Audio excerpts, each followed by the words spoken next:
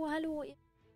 Herzlich willkommen zu einer neuen Folge Tales of Etria App gezockt.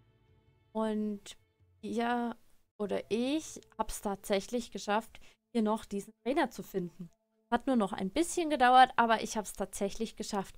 Und jetzt schauen wir mal, wie uns der beibringen möchte, dass Vangelis seine Höhenangst verliert. Hallo, du möchtest deinem Pferd beibringen, seine Höhenangst zu überwinden? Da kann ich dir helfen. Na, das ist ja perfekt. Auf schmalen Vorsprüngen reiten. Wir müssen der Trainerin folgen, damit das Pferd die Höhenangst überwindet und das kostet 2500. Okay, für ein weiteres Tapferkeitssiegel braucht Ihr Pferd einen freien Platz. Versuchen Sie ein neues Pferd oder ein Pferd höheren Rangs. Ähm. Aber ich hab doch schon ein Expertenpferd. Sag bloß, ich brauche jetzt noch mal eins. Ähm, kann ich dem Pferd nicht irgendwie das eine Tapferkeitssiegel wegnehmen? Schauen wir doch mal. Angelis, der hat Tapferkeitssiegel. Nee, kann ich nicht. Na super, muss ich mir jetzt tatsächlich noch mal so ein Expertenpferd ähm, kaufen? Oder Ja, komisch.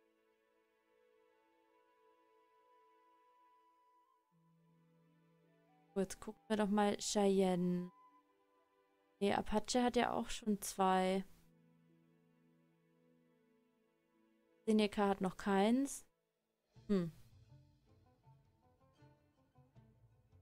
Wenn ich das jetzt mal mit dem anderen Pferd probiere. Hier ist jetzt einfach mal mit Seneca. Ähm. Ja, super, jetzt bin ich ja wieder da. Und mit Seneca kann ich es nicht machen, weil ich da wieder 58 brauche. Das ist ja cool. Also das heißt, ich muss jetzt tatsächlich nochmal ein Pferd und muss das Pferd jetzt dann auch wieder erstmal auf 58 Ausdauer trainieren, damit ich das überhaupt machen kann. Hm. Okay, dann werde ich das jetzt vielleicht erstmal probieren. Also wir tauschen jetzt erstmal ein paar von den Diamanten in EQs und kaufen uns nochmal ein Pferd. Ein Expertenpferd.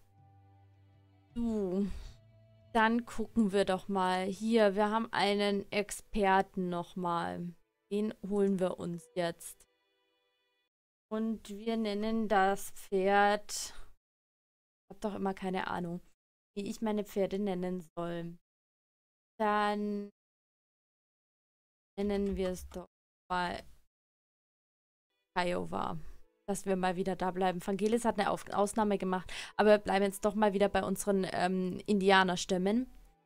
Und dann muss ich ja jetzt auch wieder erst hier trainieren, bevor ich jetzt mit Erudio sprechen darf. Okay, dann werde ich das doch jetzt mal auch wieder machen. So, jetzt aber haben wir es geschafft. Ähm, ich weiß jetzt auch, was mein Fehler war. Und zwar habe ich bei Vangelis gedacht, ich muss das nochmal machen, dass ich durch flaches Wasser reiten kann. Zeige euch das mal ganz kurz. Also, das ist Kiowa Fangilis. Moment. Da ist sie. Genau. Also hier durch Wasser, Wind und hohes Gras. Ich dachte halt, ich muss unbedingt nochmal durch hohes Gras und durch Wasser reiten, damit ich hier im, in den Schluchten zurechtkomme. Musste ich aber nicht. Deswegen waren die Tapferkeitssiegel schon voll. Das heißt, normalerweise müsst ihr nicht zwei Pferde kaufen. Ich musste das jetzt in dem Fall. Und ich habe jetzt Kiowa erstens mal als Schwarzen gemacht, weil mir das irgendwie ganz gut gefiel. Ich brauche ja irgendwie immer ein bisschen was anderes, damit ich nicht meine Pferde verwechsel und durcheinander bringe. Ähm, Trainiert ist sie jetzt auf 58, dass wir weitermachen können. Den Wind habe ich auch schon gemacht, weil den brauchen wir in den Schluchten. Und ich habe auch so ein bisschen unsere Frisur verändert und mal andere Zügel und so drauf gepackt. Damit wir mal wieder was Neues haben. So, und jetzt können wir nämlich mit dem Trainer hier die Höhenangst überwinden. Hallo, du möchtest deinem Pferd beibringen, seine Höhenangst zu überwinden. Da kann ich dir helfen. Das finde ich super, deswegen sind wir hier. Auf schmalen Vorsprüngen reiten. Folgen Sie der Trainerin, damit Ihr Pferd seine Höhenangst überwindet. Okay, dann folgen wir dir mal. Beginnen wir damit, über diesen Felsvorsprung zu reiten. Es ist hoch oben, wir sollten uns Zeit nehmen. Okay, machen wir. Aber irgendwie, also eigentlich heißt es ja, dass ähm, dass dieses Fell, das ich jetzt gekauft habe, schwarz sein soll.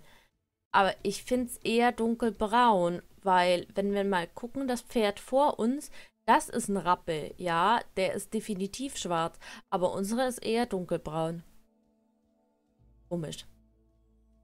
Irgendwie kurios. Okay. Toll, dein Pferd scheint keine Angst zu haben. Wir überqueren die Brücke erneut, aber im Galopp. Okay. Machen wir. Funktioniert er einwandfrei. Kaio hat genauso wenig Angst wie Vangelis. Hey. Dein Pferd hat nun keine Höhenangst mehr. Du kannst jetzt jede Felsbrücke überqueren. Okay. Super. Geschafft. Klasse. Jetzt müssen wir zu Erudio zurück.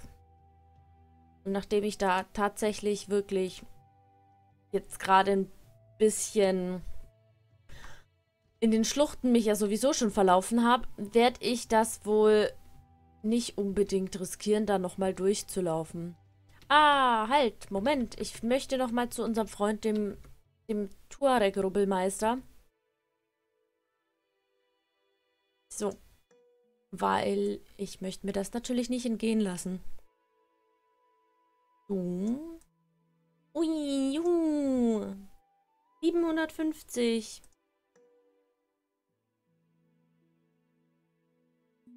Juhu. Gut, dann gehen wir jetzt doch mal zu Erudio. Wo bist du? Da hinten.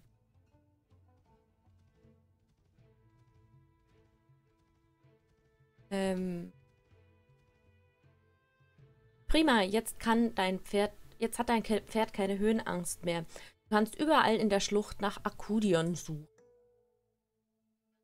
Okay, dann werden wir das doch mal tun. Wir müssen wieder den Hinweisen folgen. Hinweis 1, 2, 3.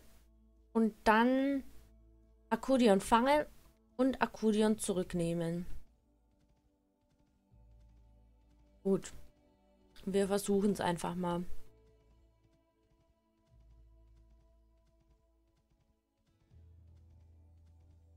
So.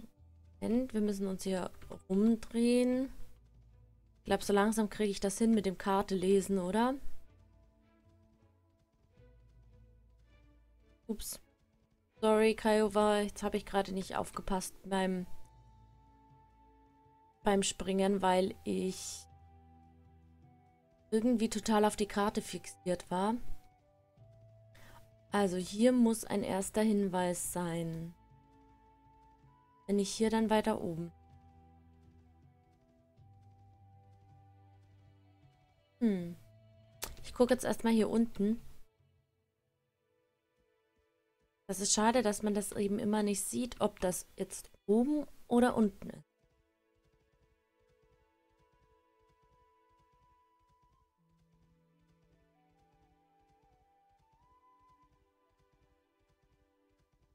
Aber jetzt sind wir schon viel zu weit weg.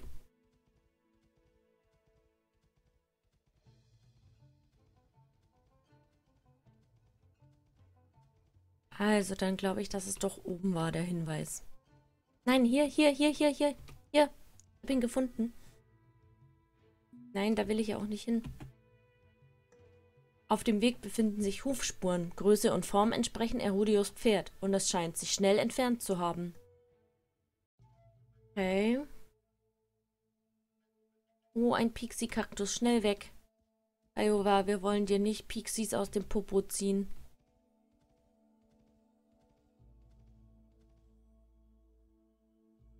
Hm. Da denke ich jetzt mal, dass das oben ist, wenn wir uns die Karte ein bisschen angucken. Oh, jetzt hier um die Ecke wahrscheinlich, oder? Hilfe!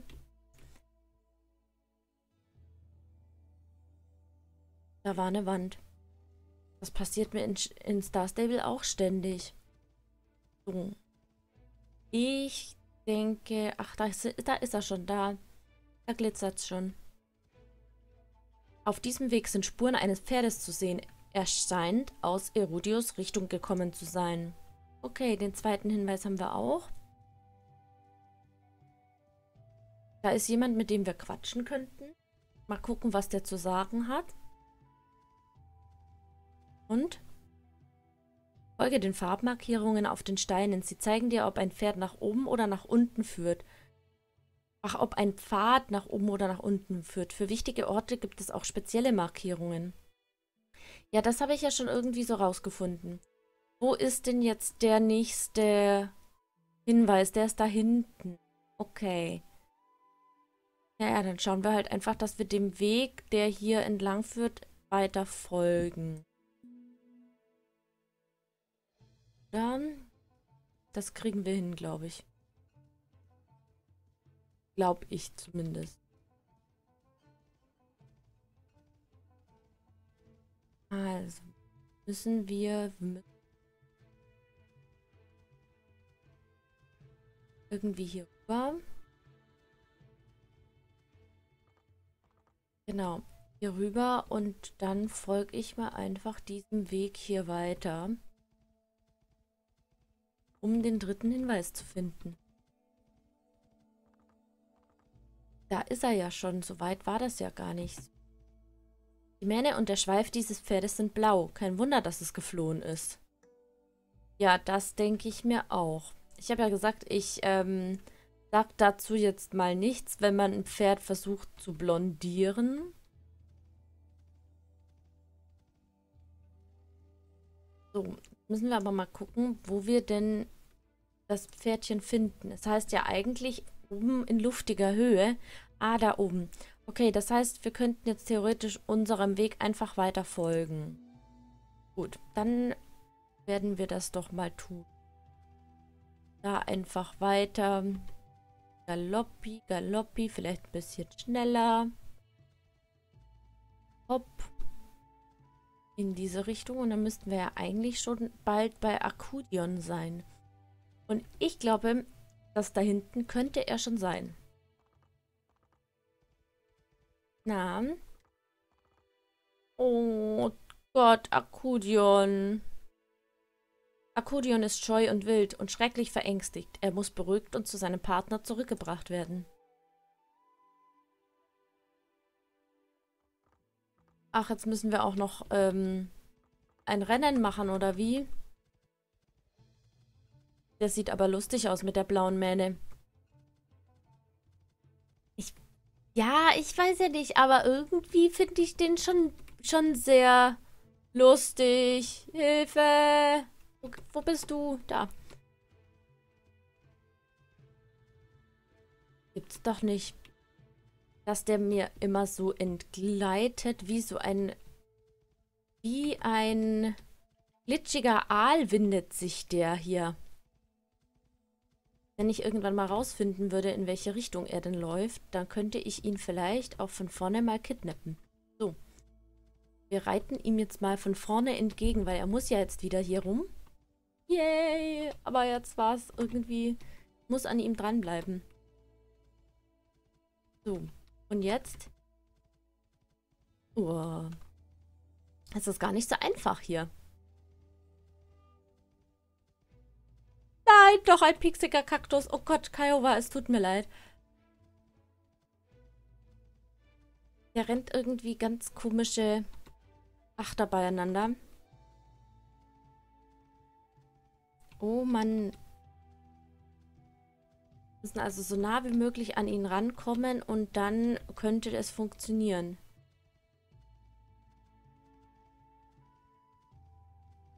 Wo zum Geier bist du jetzt hin?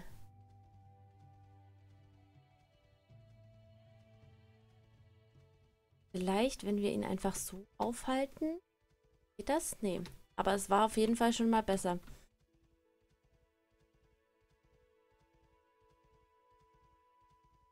Ich habe gehofft, dass ich einfach nur... Oh, da steht er, da steht er. Nein, bleib stehen. Dich beruhigt? Cool. Dort, dort, keine Angst. Ich bin gekommen, um dich nach Hause zu bringen. Okay. Ich dachte, ich muss ihn fangen, aber er hat sich ja einfach so beruhigt. Das ist ja cool. Aber jetzt muss ich mir den nochmal genauer angucken. Och Gott, sieht der lustig aus mit der Mähne. Also, es sieht schon richtig, richtig aus. Muss ich schon sagen. Okay, Akkudion zurücknehmen. Jetzt muss ich mal gucken, wo geht's denn überhaupt hin? Ähm, also, wir müssten theoretisch, könnten wir auch da weiter reiten. Mal gucken. Als Zielort festlegen, vielleicht. Wenn ich jetzt aber schnelle wenn ich jetzt aber ähm, schnelle Ver schnelles Reisen oder wie heißt das nochmal? Schnelle Verbindung nicht, aber schnelles Reisen mache, dann wird der Akkudion wahrscheinlich nicht mitkommen, gehe ich davon aus. Also reiten wir erstmal hier entlang und schauen mal. Nee, das geht in die falsche Richtung. Hm. Ich muss hier irgendwie wieder runter. Ich muss definitiv hier runter, weil hier habe ich keine Verbindung. Also, ah, aber da hinten komme ich runter. Oder? Ja. Da hinten runter und dann kann ich hier weiter reiten. Okay, dann machen wir das doch mal. Ich hier runter. Hier, aber hier komme ich auch runter. Gehen wir doch mal lieber hier runter. Dann müssen wir nämlich nicht so weit laufen. Ja. Also, der Akkudion ist tatsächlich sehr, sehr hoch oben unterwegs. Da geht es wieder rauf, aber wir wollen ja nicht rauf. Wir wollen ja wieder runter. Also hier weiter. Geht, glaube ich, sogar in die richtige Richtung.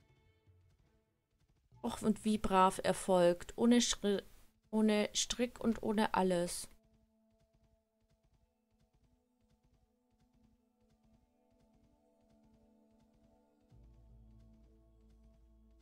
Ich jetzt hoch? Nein, da kann ich doch nicht hin. Das ist vielleicht doof mit dem Pfeil. Aber ich bin ja schon fast da. So weit war es ja dann nicht. Muss ich jetzt irgendwo hier rauf. Oder hier rüber. Geh mal hier rüber. Ich glaube, wenn ich hier rüber komme, dann komme ich auch wieder rauf ins Dorf. Ja, genau so war das. Ich krieg's vielleicht auch noch hin, dass ich mich irgendwann mal nicht mehr so dolle verlaufe. Vielleicht, irgendwann mal. So, jetzt sind wir im Dorf. Und da steht irgendwie ein Pferd still. Jetzt kommt. Ich hoffe jetzt nicht, dass wir das nächste Pferd fangen müssen, aber das sah jetzt normal aus. Das hatte, glaube ich, keine blaue Mähne. Bist du denn? Da bist du ja. Akudion, ich bin froh, dich zu sehen. Entschuldigung, ich wollte dich nicht blau färben. Das tue ich nie wieder, versprochen. Na, das will ich aber hoffen. Danke, dass du mein Pferd zurückgebracht hast. Hey. Naja, jetzt müssen wir natürlich noch mehr. Es war ja irgendwas noch, was wir hier zusammensetzen mussten. Das erste Teil ist an der Küste versteckt und das zweite im Flachland. Viel Glück. Kiowa erfüllt die Anforderungen nicht. 61 und wir brauchen Wasser. Ähm, dann würde ich aber ganz einfach sagen, ähm, nee, nicht laden, sondern koppeln. Weil ich habe ja mit Vangelis das Wasser schon. Ähm, wenn ich jetzt mit Vangelis das annehme. Nein, das ist das. Nein, ich habe ja nicht Vangelis. So, muss reiten. Okay. So. Und wenn ich jetzt nochmal... Also Wasser ist jetzt grün, aber jetzt brauchen wir 61 Ausdauer. Dann werden wir uns natürlich mal wieder ins Training begeben. Passt jetzt auch ganz gut, weil die Folge jetzt ziemlich lang geworden ist. Und dann trainiere ich wieder ein bisschen. Und wir schauen uns dann in der nächsten Folge an, was denn die fehlenden Teile sind von diesem Teleskop oder was auch immer das war. Bis zum nächsten Mal. Wenn es euch gefallen hat, lasst mir gerne ein Like da oder auch ein Abo, wenn ihr neu auf meinem Kanal seid. Und ich wünsche euch bis dorthin alles Gute. Wenn euch langweilig wird, schaut euch eine andere Folge von einem anderen Projekt von mir an. Bis dann. Tschüss.